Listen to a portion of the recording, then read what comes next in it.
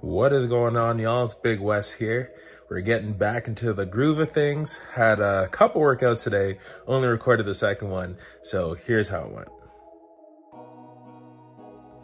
Okay, so like I said, we are back. It's been a while. Uh, I decided to take all of last week off uh, abruptly though. Sorry I didn't tell you guys, but it's one of these spur of the moment things. Like I really listen to my body, so I could just be like, as you guys could see, as in a groove for months, uh, weeks, days, is going straight, hitting two days and everything. And then all of a sudden my body's like, yo, we're tired. So just listen to myself, took that time off. Back to eating like a slob. I was really enjoying it. But surprisingly, I thought it'd be a lot worse. I'm still looking good, feeling decent. Uh, so just going to get back into the groove of things. Kind of my plan for the next month. We are not going to worry about the diet, like really not so much at all. And then just focus on working out. And then starting August, we are beginning the cut for the contest. So uh, yeah, look out for that. But basically until August, we are just gonna just freestyle it. So anyways, I did the barbell uh, variant workout. Um, so just enjoy the reps and sets. Let me know what you guys think in the comment section about this and the workout, or just let me know what you guys have been up to, and I'll see you guys at the end of the video.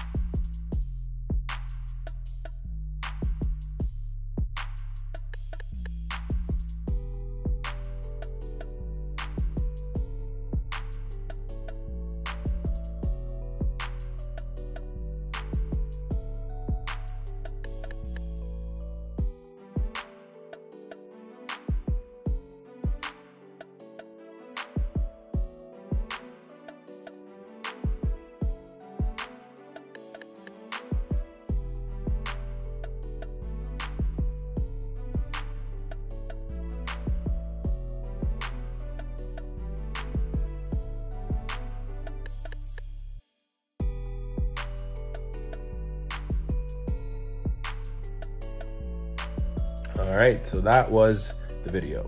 So this morning we did uh, the regular barbell variations, did four sets of 10 for everything, and then uh, had some technical difficulties. So tonight we just did the other variations and then did five sets of five. But I felt really good with everything. Uh, form was looking nice, so I'm happy, can't complain. So we're just gonna hit it hard for the rest of the week and just get a groove back. So that is it for today. It's all I can really think of, yeah. So like and share this video with a friend, hit the subscribe button, ring the notification bell, drop all those comments so know what you guys are saying, but you don't wanna miss any videos when they come out. So that is it. Thank you guys for watching. I will see you next time. I appreciate it as always.